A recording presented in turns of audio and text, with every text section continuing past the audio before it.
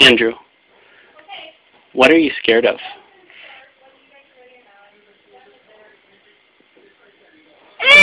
What are you scared of?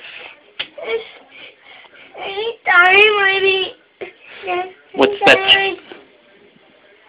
What's the thing that you said you're scared of? Nothing moving. No, the the shoe. No, nothing moving. Yeah, but what shoe are you scared of? Both of them. What shoe are you scared of though? The 1980s. the 1980s shoe? Yeah. Why are you scared of the 1980s shoe? Because those are the. J. Band shoes. And why are they scary? Because their father's a weirdo to them. And when are they from? 1980s. The 1980s were scary? Yeah. Really, really scary? Yeah. Show me a scary face. Mm-hmm. No. Alright, say goodnight. Wait.